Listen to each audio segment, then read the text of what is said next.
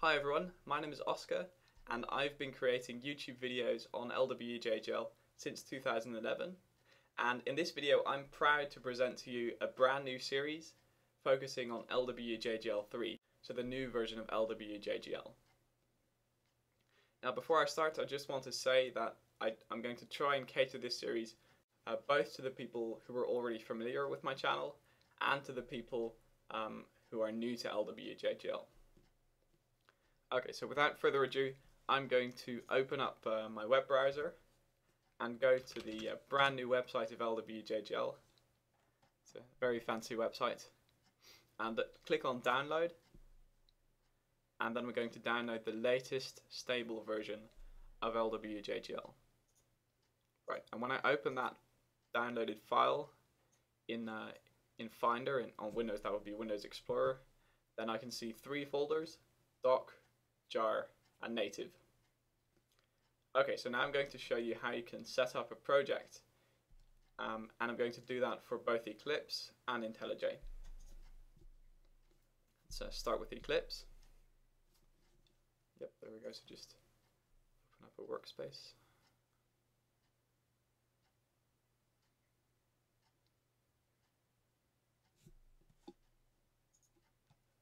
So we'll create a new Java project new LWJGL Eclipse or something. Just click finish. And then we'll drag the three folders that we downloaded into this project.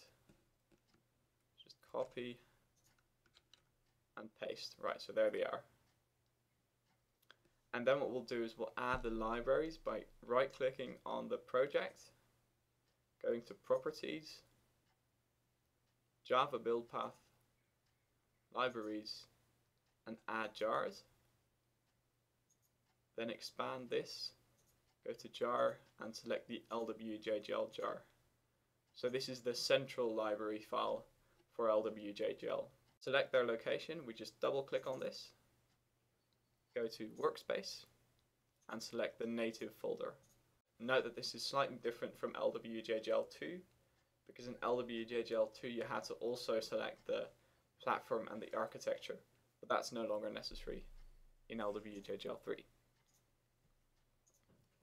Okay, so add the native file, and then there's one last setting that we need to change, because for the time being, on Mac at least, there is this bug that if you start the application, uh, it's going to give you an exception because you haven't enabled uh, the X start on first thread uh, VM option.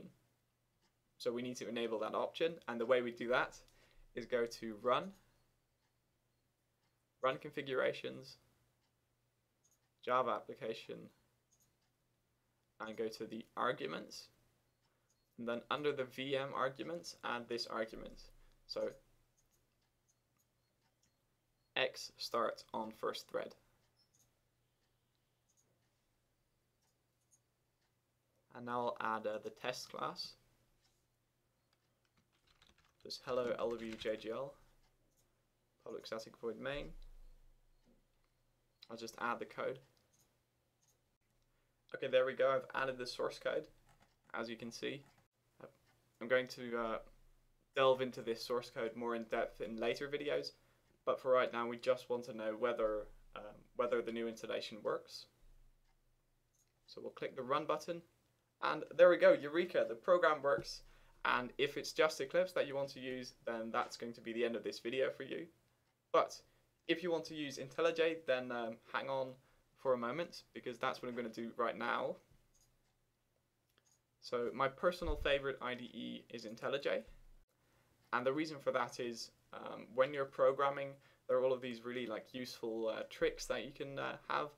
Like for example, if you have a, a method with, like for example, um, get number of bytes, and if you just press the letters G N um, B or something, then you already get like the method um, as a as a suggestion, which is really neat. But for IntelliJ, what I'll do is I'll just go to new project Java. Um, new LWJGL IntelliJ. And the process is really similar to uh, uh, to Eclipse. It's just that the menu buttons are in slightly different locations. Let's see, again we need to drag all the files here into the project folder. So there we go. And then what we need to do is go to File, Project Structure, um, then go to Modules, Dependencies, and then add the jar file. So add the LWJGL jar file.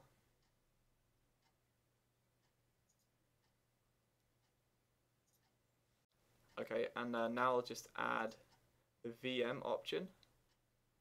And the way we do that is we go to Run, Edit Configurations, Defaults, Application, VM Options, X, Start on first thread, I think it was. Now I'll add the, uh, the file.